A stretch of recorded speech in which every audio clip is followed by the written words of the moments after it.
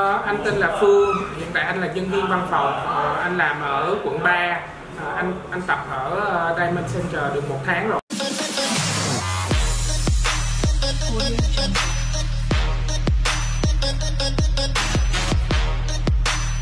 Ờ, anh sau một tháng thì anh thấy anh giảm được 4 kg, à, người nhẹ nhàng hơn và có sức bền nhiều hơn.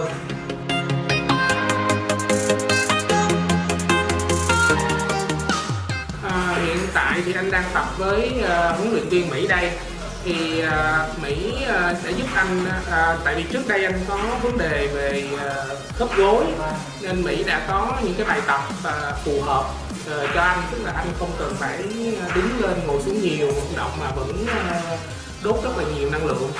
Và tập với Mỹ thì anh được một cái là uh, mọi thứ uh, anh đốt năng lượng rất là nhiều và sau khi tập cảm thấy rất là sảng khoái và dễ chịu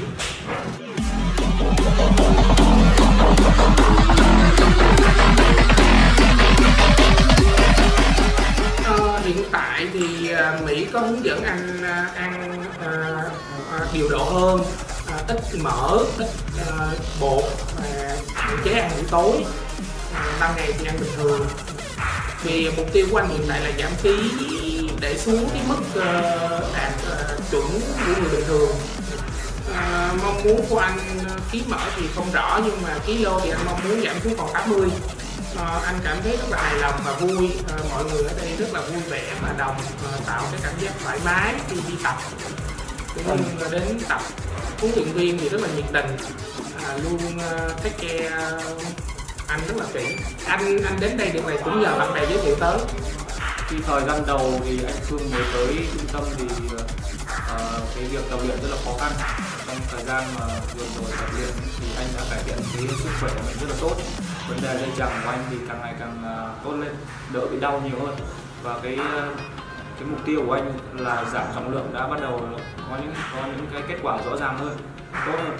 Và thời gian tới thì cũng sẽ tập luyện hoặc là kết hợp những chế độ dinh dưỡng cho anh sao cho phù hợp và cái đạt được cái mục tiêu mình mong muốn ban đầu, hiệu quả nhất có thể.